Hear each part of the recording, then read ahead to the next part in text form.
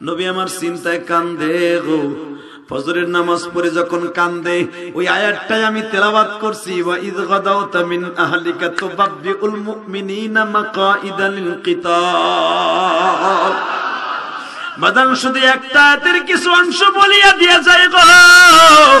আমার খুতবার ভিতরে যে আয়াতটা পড়ছি, বাবা, আল্লাহ কোরআনে বলতেছে ওয়া ইদ গাদাউতা মিন আহলিকা তুবাব্বিউল মুমিনিন। সকালবেলা আমার নবী যায় নামাজে বসে নামাজের পার্টিতে কান্দে। ওবাজান গদাও মানে সকাল। নবী আমার যুদ্ধের কথা কার কাছে বলবে? আমার আল্লাহ বল ওয়া ইদ গাদাউতা মিন আহলিকা তুবাব্বিউল মুমিনিন।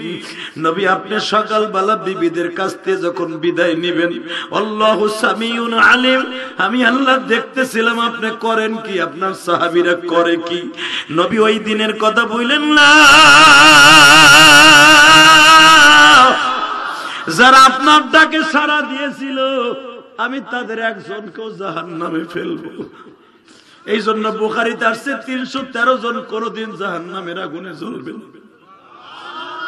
তিনশো তেরো জন ডাইরেক্ট জান্নাত। একজন জাহান্নামে যাবে না। নবী আমার যাই না আমাদের সকালবেলা কান্দে।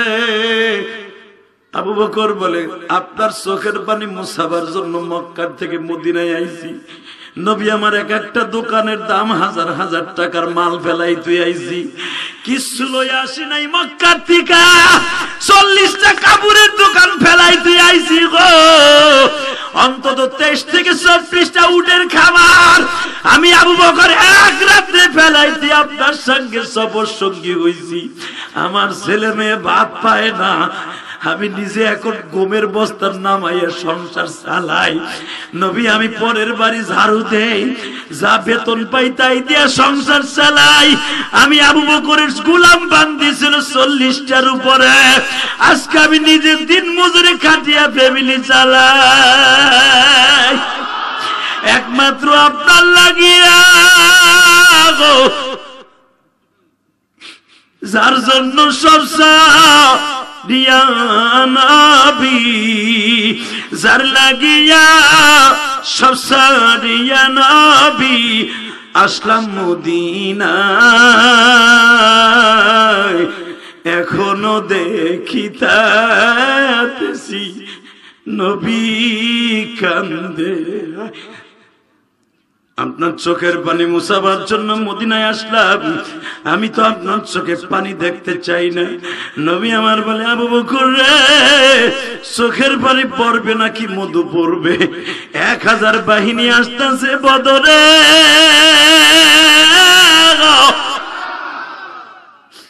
জীবনের তরে মদিরার ইসলাম এখানের থেকে শেষ করে দিবি। আবু বকর বলে, নবী, কিসের চিন্তা করেন আপনি? আমি আবু বকরকে আপনি বলছেন আর হাম উম্মতি বি উম্মতি আবু বকরেন ও আসাদুহুম ফি আমরিল্লাহিল উমর ও আস্তাকুম হায়ান উসমান ও খুদাহুম আলী। আল্লাহু আকবার, বলা! আপনি আমাকে চার জনের বৈশিষ্ট্য চার রকম বর্ণনা করছেন মক্কায়। আর হেম উম্মতি বি উম্মতি। আমার আবু বকর হলো নরম কিন্তু আজ থেকে আবু বকর হয়ে গেল গরম। হ্যাঁ, আমি আর ওয়াজি করব নরম মানুষটা গরম হয়ে যাক তুমি বয়া বয়া খিচুড়ি চিন্তা করো। আবু বকর বলে হুজুর আমি এতদিন ছিলাম নরম। আপনি যখন বলছেন ওরা এক হাজার আসতেছে আমি হয়ে গেলাম গরম। তা নরমটা যদি গরম হয় গরমটা তো পয়রাই রয়েছে ওয়াসাদতুহুম বিআমরিল্লাহিল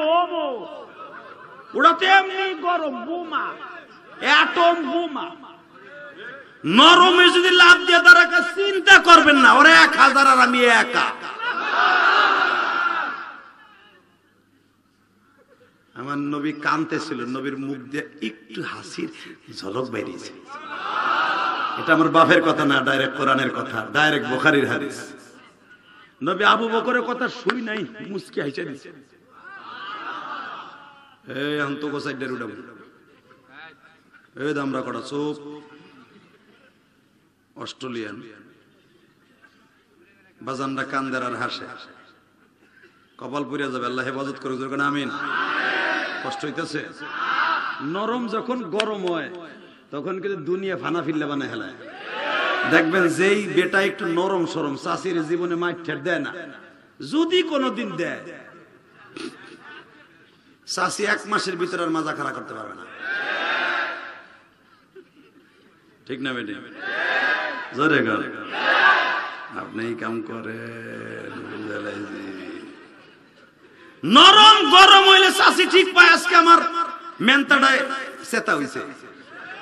চাষি আর ওই দিনকে ঘরে থাকে না, হে আর এক যায়। আর যেটা গরম ও তো বলে দাম আছে? ও, তো বিয়ের পরের তো গরম। ওর আর দাম নাই ঠিক না বেটে?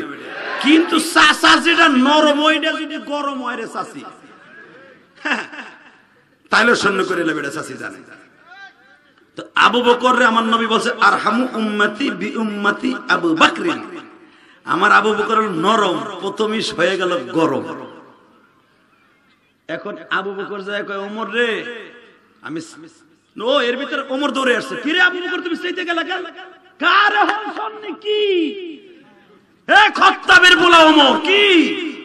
শোনস নাই, কয় না? মক্কার থেকে আমাকে বের করে দিয়া ওরা ঠিক থাকতে পারে না, ওরা বলে, আবার মদিনে আসতেছে। ওমর কে কি কইলেন? কি কি কি কি কি কি আসতেছে? কে কে কে কে ডাকি ডা কহল্লাম টোটাল চেয়ারম্যানের কিছু মস্তান আর আলমগীরের চেয়ারম্যানের কিছু ক্যাডার আইতেছে ছাগল সিরা ছাগল সিরার বলাবন কয়, বেটা, গ্রামের মেরে কুত্তার দাম আছে, যদি এলাকায় ঢোকে ফানা ফিল্লা বানায় ফেলাবো। এটা গৈজনার দাসের কান্দি না। এটা ছাগল সিরা পাম দিলাম আর কি, তোমরা কি করবার জানা আছে আমার আমি এলাকার ফলা না?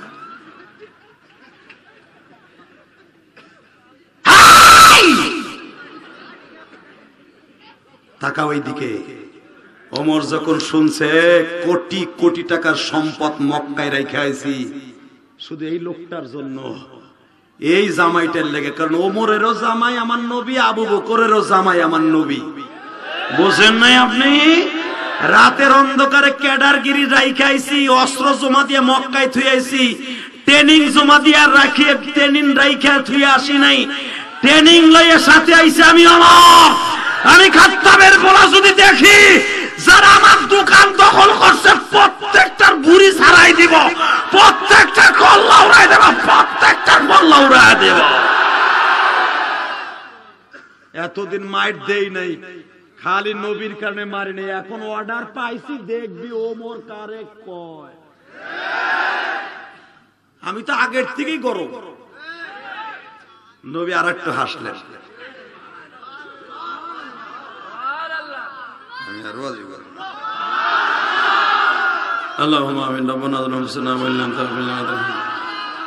নবীর হাসি দেখে সুবহানাল্লাহ কইবে না কই বেকার হাসি দে বোর হাসি দে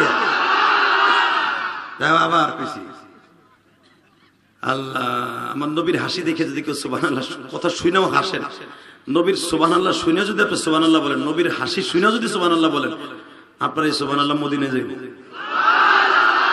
বলেন দাসাল্লাতু সালামু আলাইকা ইয়া রাসূলুল্লাহ। বলেন, নবী, আপনার হাসির কথা শুনে ছাগল ছিরা আমার এলাকার মানুষগুলা নবী দেখেন, এরা সোহান আল্লাহ বলছে। আমাদের সালামটা বাতাসের মাধ্যমে রসুল রওজায় পৌঁছে দেবে যুবক ভাই, তোর সালাম এখন রসুল রওজায় যাবে। একটা লোক দাঁড়ায় থাকিস না। তোর সালাম পৌঁছে গেলেই তুই জান্নাত। যে যেখানে পারস কেদার মধ্যে, বৃষ্টির মধ্যে জীবন ধন্য হয়ে যাবে। প্যান ময়লা হয়, হোক বেটা। কালকে দুবি কিন্তু নবীর আর জীবনে পাবি না। ঠিক না বেঠিক আরও জোরে বলে? তাহলে একটা আওয়াজ দিত এই মকসিদপুরি পোলা, তুই তো আমার এলাকার সন্তান, আওয়াজ দিত যদি হজরত ওমর বলতে পারে ট্রেনিং জমা দেই নাই, অস্ত্র জমা দিয়ে আসছি। বিশ্বনবীর জন্য কোটি কোটি টাকা সম্পদ মক্কায় রেখে আসছি। ওরা যদি মদিনার ভূখণ্ডে আক্রমণ করে, প্রত্যেকটা বেইমানের কল্লা উড়াই দেব, কল্লা উড়াই দেব, কল্লা উড়াই দেব। নবী আমার আর একটু হাসলেন তোমরা দুইজন তার পারবা না? আমি চাইতেছিলাম তোমরা না শক্তি দিলা, কিন্তু অস্ত্র যদি মদিনাওয়ালারা দিত, মদিনার দুজন লোক যদি আমি পাইতাম, খুশি হইতাম। এবার কানবেন। হজরত আমাদের দেশে আছে না মোল্লা শেখ মাদবার আছে না বাবা? প্রত্যেকটা এলাকায় একটা জারিয়ালা বংশ আছে না? হ্যাঁ? হজরত ওমর গেছে সবচেয়ে বড় শক্তিশালী বংশ। বনি কোরাইজা। বনি সাত আওজার খাজরাস, এই দুইটা বংশ ছিল সবচেয়ে দামি। চারটা বংশের ভিতরে দামি হলো আওজার খাজরাস। এই দুইটা বংশের কাছে দুইজন নেতা গেছে। যাই বলে, আপনার নাম অমক না? হ্যাঁ শুনছেন আমার নবীর বিরুদ্ধে তারা কোরআনের বিরুদ্ধে আসতেছে। যারা আমাকে এই দেশ থেকে তারাই দিছে, আপনারা কি কন? খাজরাত বংশের নেতা বলে, মোহাম্মদ সাল্লামকে শান্ত থাকতে বলো। শক্তি তোমরা দিবা, কৌশল তোমরা ব্যয় করবা। অস্ত্র আমরা দেব। এবং আমার বংশের ভিতরে যত লোক আছে, সব নবীর সাথে যাব। আওয়াজ বংশের নেতা লাভ দিয়ে কয়, তুই পারলে আমি পারব না? তোর বংশে হেডামালা আছে আমার নাই? তোর চাইতে আমার শক্তি বেশি, বেটা পয়সা আমার বেশি, সব খরচ করব নবীর লেগে। তবু কোরআনকে জমিনে চিন্তা করে ছাড়বো। যারা নবীর ওই দেশ থেকে তারা এই দেশে ওরা এই দেশে আসতেছে, আবার তারে মারার লাগে। দেখব, এটা ওর বাপের দেশ না, এটা আমাকে বাপ দাদার দেশ। গুজনের থেকে ছাগল ছিঁড়ে এসে যদি আমরা মেরা টাংরা ওই ছাগল ছিঁড়ে এসে মারবে, এত বড় সাহস। এরকম আছে না শক্তি হ্যাঁ। নবীর সাহাবিরা যখন বলে ফেললেন মদিনার সাহাবিরা, মক্কার থেকে সাড়ে চারশো কিলোমিটার রাস্তা অতিক্রম করে আমার মদিনা এসে মারবে, এই জান্নাতি মানুষটাকে এক একটারও যাইতে দেবো না। নবী আমার বদরে গেলেন, রোজা রেখে আলহামদুলিল্লাহ বলেন। নবী আমার বললেন, তাহলে নামের লিস্টি দাও, কে কে যাব আমার সাথে? নামের লিস্টি দিয়ে শুরু হলো নিষ্টি হইতে হইতে হইতে হয়ে গেছে তিনশো তেরো। তিনশো তেরোর মধ্যে প্রথম লিস্টিতে আসছে তিনশো এগারো। কত? তিনশো এগারো জন হয়েছে। তিনশো এগারো যখন হয়ে গেছে বিশ্ব নবীর কাছে, নবী সাহাবিরা বলে হুজুর তিনশো এগারো জন, আপনি একজন বারো জন। চলেন বিশ্ব নবী যাই। আমার নবী বলে, তিনশো এগারোর উপর আর হলো না। হুজুর হয়, নিলে তো নিয়ন যায় অনেক, কিন্তু সবাই তো নিয়ন যাবে না, কারণ এই যুদ্ধে যারা আসতেছে, এরা প্রত্যেকটা বেইমান এক একটা, এক একজনে পঞ্চাশ জনের সাথে বুঝতে পারে। এত শক্তি তাদের গায়ে। নবী বলে হ্যাঁ ঠিক কথাই বলছো। ওমর বলে, কি এর পঞ্চাশের একশো? কি ক আবু বকর ভাই? কি যে ক বিয়াই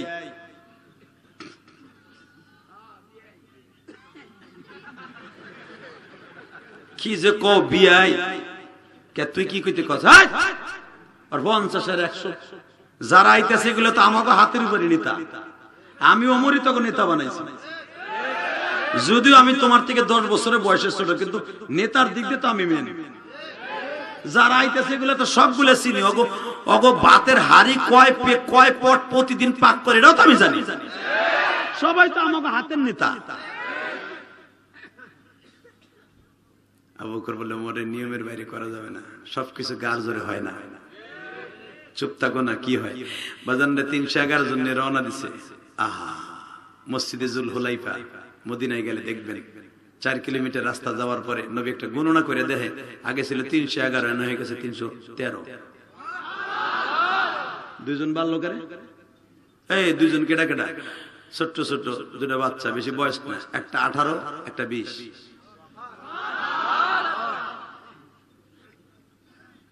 যখন বদরের যুদ্ধে যায় তখন আমার নবীর বয়স হলো চুয়ান্ন থেকে পঞ্চান্ন।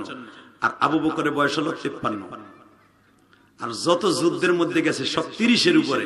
কিন্তু সবচেয়ে ছোট হলো এই দুজন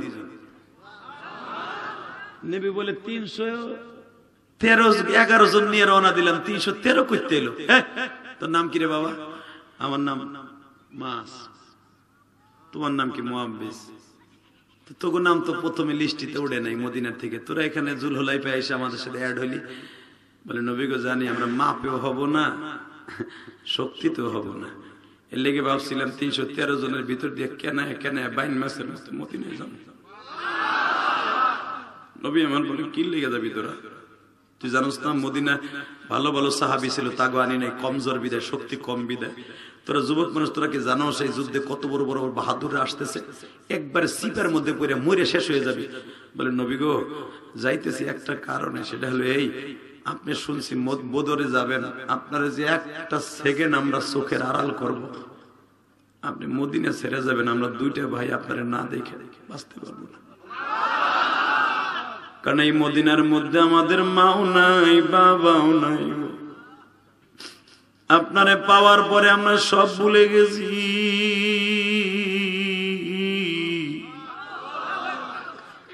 আপনার বিবিদেরকে আমরা মা বলি, আপনি জানেন কিনা জানি না। নবী আপনারে আমরা আব্বা বলে ডাকি।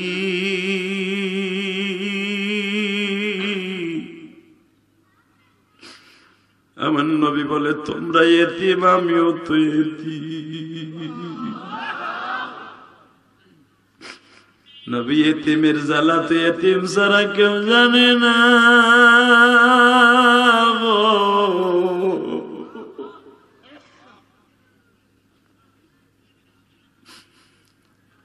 নবীজি, আমি আপনারে রাইখে আধাটা ঘণ্টা কোন জায়গায় যাই না। নবী, বাথরুম আসলে খুব দৌড়ে আসি। তাড়াতাড়ি যদি বাথরুমে বয়ে থাকি, নবীরে দেখলে অতটুকু সময় আমার সোয়াব হইব। নবী, আপনি যখন আমার আম্মাদের কাছে অর্থাৎ আপনার বিবিদের কাছে যান, আমরা দুই ভাই এই মসজিদের নাবমির আপনার দরজার কাছে ভিক্ষুকের মতো বয়ে থাকি। আমার নবী কখন বের হবে?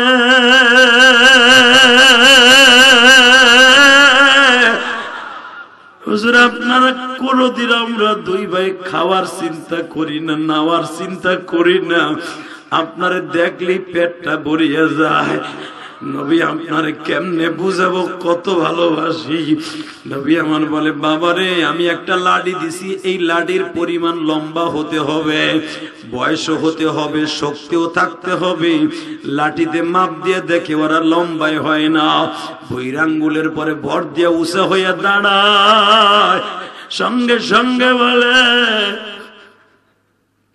পায়ের পাতা লাগাইলে জমিনে হবে না বিদায়, বুড়ি আঙ্গুলে বর দিয়ে উষা হইয়া দাঁড়াইছি। আবু বকরে পাও দূরে জড়াই ধরে বলে, আবু বকরে বেশি পার্সিডি করো না।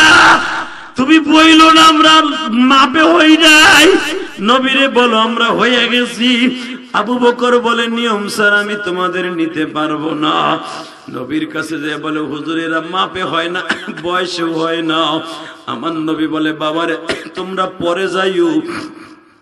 সঙ্গে সঙ্গে দুই ভাই কান্দের বলে, হুজুর, আমরা কি জন্য যাইতে পারব না? বাবা, তোমাদের গায়ে শক্তি কম। সঙ্গে সঙ্গে মাছ লাভ দিয়ে দাঁড়ায়, বলে, বিশ বছরের মাছ। হুজুর, আপনার সবচেয়ে বড় শক্তিশালী ওয়াসাদ দুহুম্বি আমরিল্লাহিল আমর আপনার বীর যুদ্ধের মধ্যে সবচেয়ে শক্তিশালী হলো ওমর। হুজুর, ওমরের সাথে আমার যুদ্ধ লাগায় দেন। ওমর আমার সাথে পারবে না।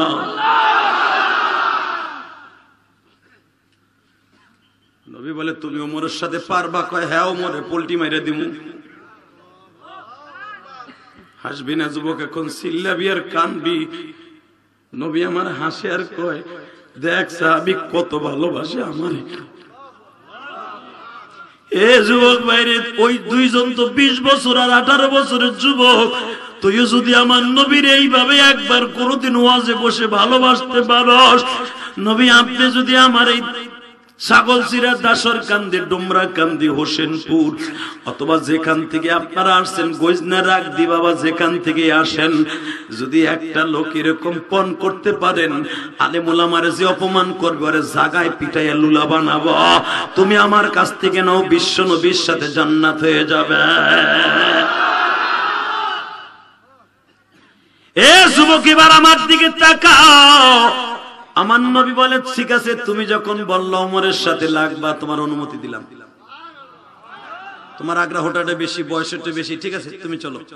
সঙ্গে সঙ্গে ছোট ভাই বলে, নবী, যদি শক্তির কারণে আমার ভাই হয়, আমার ভাইয়ের সাথে আমার লাগান আর, এমন পোল্টি মারবো, জীবনে আপনি কল্পনাও করেন নাই।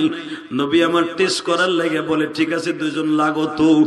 বাজান ছোট ভাই বড় ভাইয়ের গলার মধ্যে হাত দিয়ে মাজার মধ্যে শক্ত করে ধরিয়া কয় বাইরে আমি জানি তোর সাথে বেয়াদবি হয়ে যাবে, বড় ভাইরে ছোট ভাই আসার মারবে। কিন্তু আমার নবী এইটা দেখতে চাইছে, তুই যদি অভিনয় করে জমিনে পড়িয়া যাস, আমি আমার নবীরে দেখতে যাইতে পারব। ভাই, তুই জমিনে একটু অভিনয় করে পড়িয়া যাস এ আমার ছাগল চিরার ডুমরা কান্দি, ছাগল চিরার বাইরা রাজস্বরদের বাইরা, তুমি একটা চোখের বাড়িতে আমার মাওলারে দেখায় দাও। বিশ্বনবী দুইজনের কুস্তা কুস্তি দেখিয়া দনজন্ড অনুমতি দিয়ে দিলেন গো। বাজান যুদ্ধের মাঠে যখন এই দুই ভাই গেলেন, দুই ভাই নবীর কাছে বললেন, নবী গো, আমরা কি দিয়ে যুদ্ধ করব? নবী আমার বলে, তোমাদের কাছে কি আছে? ও একজন বলে, হুজুর, আমার কাছে আসারি ছাড়া একটা বটি আছে। আর একজন বলে, হুজুর, আমার ভাঙ্গা অর্ধেক তরবারি আছে। নবী আমার বলে, ভাঙ্গা তরবারি দিয়ে কেমনে কোপ দিবা?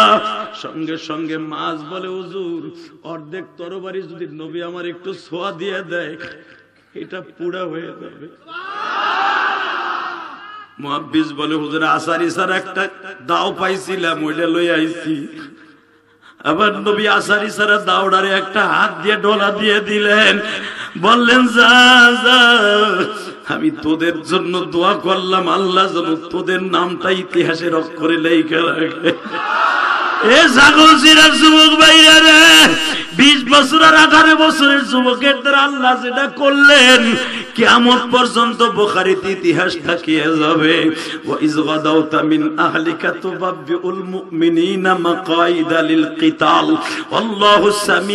আলিম। আয়াতটা খুলে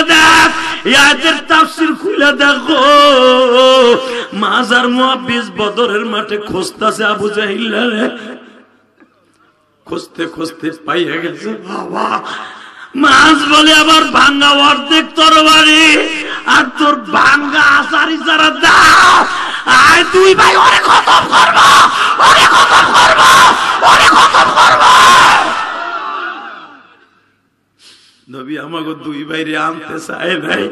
নবীরে খুশি করব আরে খতম করিয়া। উলামা আপনারা জানেন কিতাবুল মাগাজি কতলে আবু জেহেল বুখারীর মধ্যে আসছে। এরা দুই ভাই আবু জেহেল রে বাবা, এক ভাই পায়ের উপরে কোপ দিছে, আর এক ভাই আবু জেহেলের ঘাড়ের উপরে কোপ দিছে, আর এক ভাই বাবা ঘোড়ার পায়ের উপরে কোপ দিছে। দামাদাম সাইডটা কোপ দিয়ে ঘোড়ার থেকে টাইনা নামাইয়া বুকের উপর উঠিয়ে যখন বাবা আবু জেহেলের মাথাটা আলাদা করে দিবি ইন দি মিন টাইমে আবু জেহেলের বড় সন্তান একরামা পিছনের থেকে দৌড়ে এসে দেখলাম আর বাবারে দুটা বালকে শেষ করে দিচ্ছে। বড় ভাই মাঝের বাজুর উপরে এমন জোরে কোপ দিছে বাবা। এই হাতের বাজুটা কাটি একটুখানি চামড়া বগলের মধ্যে ঝুলতেছে।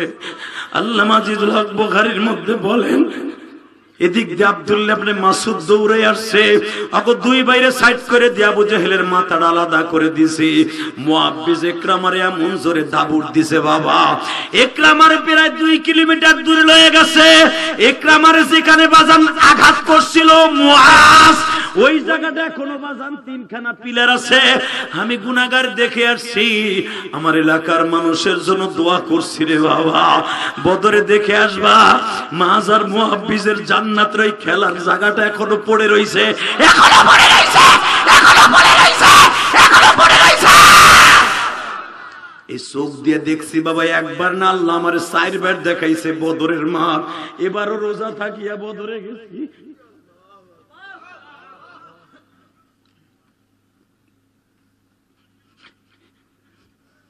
যুবক ভাইরে আমি দেখব নবীর প্রতি তোর ভালোবাসা কট্টুক আছে? সারা ফেসবুক দিয়ে, চোখ দিয়ে তাকাস আর হাসস। এই চোখ দিয়ে আমার নবীর কথা শুনে এক ফোঁটা পানি বাইর করে ফেলা। যেই চোখ দিয়ে নবীর ইস্কের কথা শুনে কাঁদবি, জীবন এই চোখটা জাহান নামের আগুনে জ্বলবে না? লোক ভাই রে আমি তোমার মতো, কে জানো আমার মতো মা নাই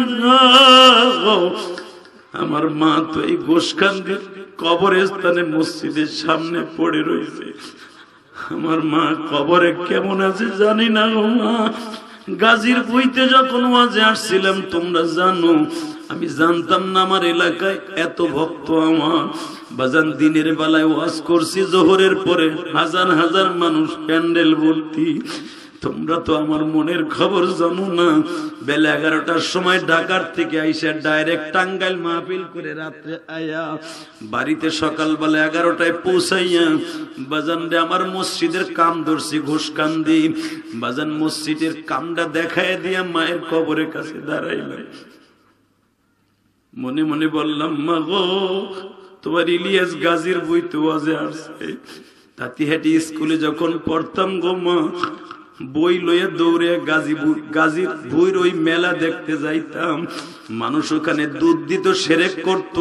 ওই সেরেক তো তখন বুঝতাম না, দেখতে যাইতাম। মা আজকে সেই জমিনে ওয়াজে যাইতেছি। তোমার বলার লেগে কি দোয়া করবা না হে যুবক রে, এই বুকের মধ্যে যে মায়ের জন্য কত ব্যথা তোমার এই বন্ধু ইলিয়াসুর রহমান জেহাদির বুকটা যদি দেখতে চাও, চাকু দিয়ে ফারিয়ে দেখো। এই দুনিয়ায় যার মা নাই ওই যে অস্ট্রেলিয়া যে ছেলেটা থাকে, রাশিয়ায় থাকে, এই যে মাসুম নামে যে ছেলেটা বাবা, ওয়াজের খরচ দিছে। ও রাত্রে যখন কাম শেষ করে ঘুমাইতে যায়, মায়ের কথাটা মনে পড়িয়ে যায়, বাবার কথাটা মনে পড়ে যায়।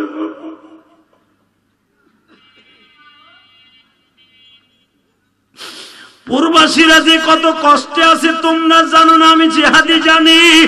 আমি তো বাবা কতগুলা দেশ সফর করছি, আমি জানি প্রবাসীরা যখন আমার সাথে দেখা করতে আসে, তখন দেখি আমার প্রবাসীদের মনের মধ্যে কত কষ্ট। কয়েকদিন আগে যখন আমি বাজান নদিয়া জেলায় ওয়াশ করতেছিলাম ভারতে নদী আমাদের এলাকার অনেক ছেলে আছে বাংলাদেশের। বাজান রে, একটা ছেলে অন্তত একশো বিশ কিলোমিটার দূর থেকে আমার ওয়াজে আসছে নদিয়ায়। আসি আমার কাছে বলে, যে আদি ভাই আমি আপনার কত ভালোবাসি, আপনার নিয়ে গৌরব করি। আমার বাংলাদেশের সুপারস্টার বক্তা ইলিয়াস রহমান জেহাদি, আজকে আপনি আমার বাংলাদেশ থেকে আসছেন, আমি একশো ষাট কিলোমিটার দূরে থাকি। শুধু আপনি আমার সাথে একটা কথা বলবেন, আমার মা আজকে নাই, আপনারও তো মা এ ছাগল চিরা মকসিদপুরের যুবক ভাইয়া এই বৃষ্টির মধ্যে আমি দেখতেছি, তোমরা বৃষ্টির পানি সামিয়ানার টবে টবে পড়তাছে, এর মধ্যে দাঁড়াই আছো, বসে আছো। তোমাদের চোখের পানি যাদের এখন পড়বে, তোমাদের এই চোখের পানি জাহান নামের আগুন হারাম করে ফেলবে। এই আবার বাইরে এখন কান্দা আর মুহাব্বিস বেঈমানদের দুনিয়ার থেকে খতম করে দিয়া মুহাব্বিস যখন মাছ রে ধৈরা বুকের মধ্যে নিয়ে কয়, ভাই রে, ভাই, দুই ভাই একসাথে আসলাম, তুই মারা যাবি, আমি কেমনে সহ্য করব? তোর লাঠি দিয়ে আমার একটা বাড়ি দিয়ে দুই ভাই মারা যাব। মাছ বলে, মুআব্বিজ রে, বেশি কথা কইস না, আমার এখনও জান আছে, আমার হাতটা টান দিয়ে একটু সিরিয়ে ফেলা। এই হাতটা আমার ডিস্টার্ব করতেছে, আমি পারি না যুদ্ধে দৌড়াইয়া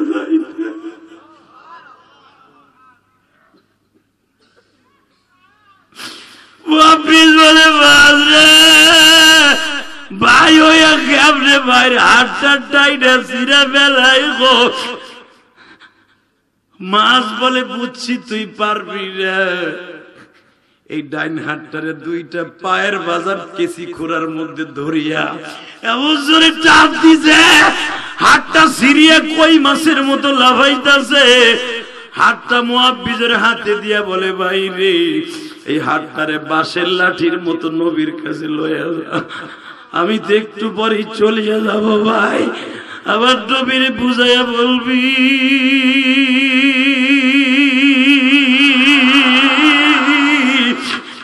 নবী, আমি হাতটা আর জীবনটা আপনার জন্য দিছি গো।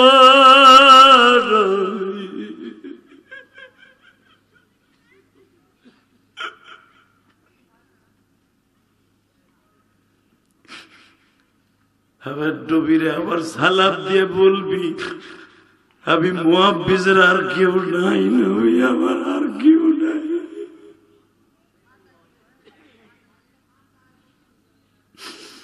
আল্লাহ আমার বাজানটা কান্দে।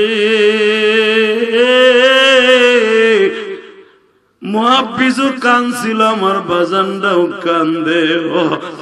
আল্লাহ, তুমি কি আমার বাজানদেরকে মাফ করে দিতে পারো না? এই যুবকদের চোখের বাণী কবুল করতে পারো না। এরা আমার এলাকার মানুষ, আমার গ্রামের মানুষ, আমার ইউনিয়নের মানুষ, আল্লাহ আমার বক্সিদপুরের মানুষ। আল্লাহ কিয়ামতের মাঠে যদি আমার মাফ করো, এদেরকে মাফ করে দিবা। নিজের হাতে বান্দা তুবি বানায়া আল্লাহ, দেখো কামনে কান্দে আল্লাহ। আমার কোন দাড়ি বাঁকা বাজানের বাবা নাই গো আল্লাহ। আল্লাহ কোন যুবক যেন আমার মতো মা বলে ডাকতে পারে না আল্লাহ এদের বাবা মায়ের কবরটা জান্নাতের বাগান বানায় দাও, আল্লাহ। আল্লাহ এদের সন্তানগুলোকে আলেম বানায় দাও, আল্লাহ। আল্লাহ আমার সাথে বড় আলেম বানায় দাও। হাত দুটো আসমানের দিকে উঠান উঠান। উঠান এই আল্লাহকে জোরে একটা ডাক দেন তো আল্লাহ বলে, ডাক দেন বাবা, ডাক দেন। ডাক দেন ডাক দেন ডাক দেন যুবক আঠারোই জানুয়ারি ডাক দে, আঠারোই জানুয়ারি ডাক দে, আঠারোই জানুয়ারি বক্সিদপুর গোপালগঞ্জ ডাক দে। এই বৃষ্টির মধ্যে ডাক দে। দেখ আমার বাবা হারিয়ে গেছে। দেখ আমার একটা বাবা হারিয়ে গেছে। আঠারোই জানুয়ারি হাজার হাজার যুবক বৃষ্টি নামছে। চোখের পানি দিয়ে তোমার ডাক দিছে, আল্লাহ! এই বৃষ্টির মধ্যে, শীতের মধ্যে, আল্লাহ! এই ঠান্ডার মধ্যে তোমার ডাক দিছে, এদের মাফ করে দাও গো, আল্লাহ! নিজের হাতে বান্দা তো বানায়া।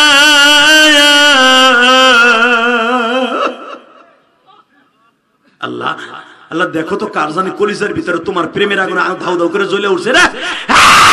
যারা হক্কানি পীরের মুড়ি সরমনে যায় দেখো, উজানির মাঠের খেলা শুরু হয়ে গেছে।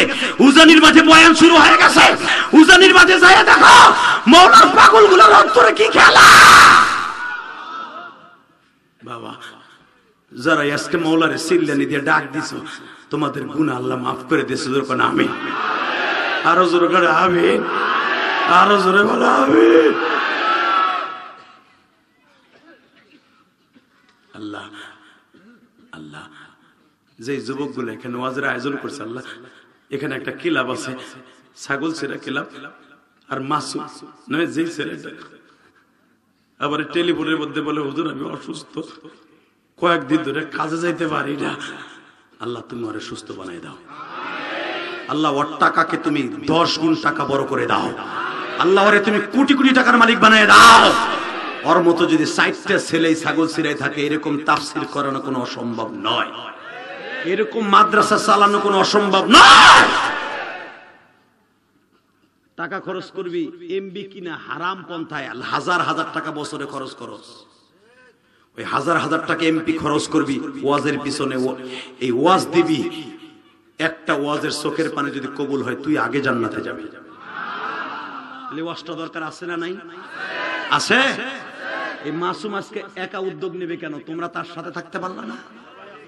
সবাই আছে তো ইনশাল্লাহ? আমি এই কথাটাই শুনতে চাইছিলাম আমরাও আছি। কিয়ামত পর্যন্ত এরকম থাকবি। তোরা চলে যাবে, তোদের সন্তানরা থাকবে যখন মারহাবা। তাহলে বাবা, আমার সাথে একটা ওয়াদা দেন।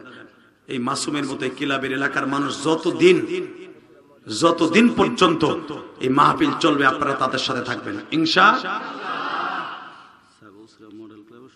আরে, ওইসে। মডেল ক্লাবের ছেলেরা আছে। আমি তো বলছি ছাগল ছেড়া ক্লাব, এখন কইতে মডেল শুদ্ধ কম লাগবে না। আল্লাহ জানে না কোন কোন চান্দু আছে এর মধ্যে? আল্লাহ কবুল করে যেরকম আমিন। বাবা যে ক্লাবের ছেলেরা আপনাদের জন্য এত সুন্দর আয়োজন করেছে, আমি ইলিয়াস রহমান জিয়াদিন আনা তো সহজ না। হইতে পারি আপনার এলাকার ছেলে, আমারটা শিডিউল পাওয়া তো সহজ না।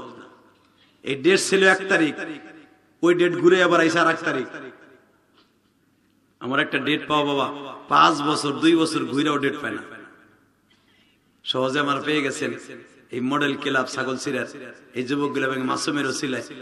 এদের জন্য দোয়া করার দরকার আছে না নাই? যারা এর ভিতরে সাহায্য, সহযোগিতা করছে, তাদের জন্য কিছু করার দরকার আছে না নাই? আল্লাহ মাহফিল্লা আজীবন হোক।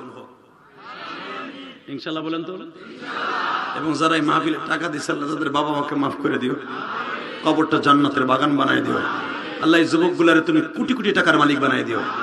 তিরিশটা সেকেন্ড একটা ছেলে লাভ দিয়ে দাঁড়িয়ে বলতে বলবা যে ইলিয়াস রহমান জেহাদি যদি আগামী বসে এই বড়ে, কালা কোটালা! এই বেটা টান দাও কোটটা ধরে, টান দাও তো দিকে ঘুরে দাও তো।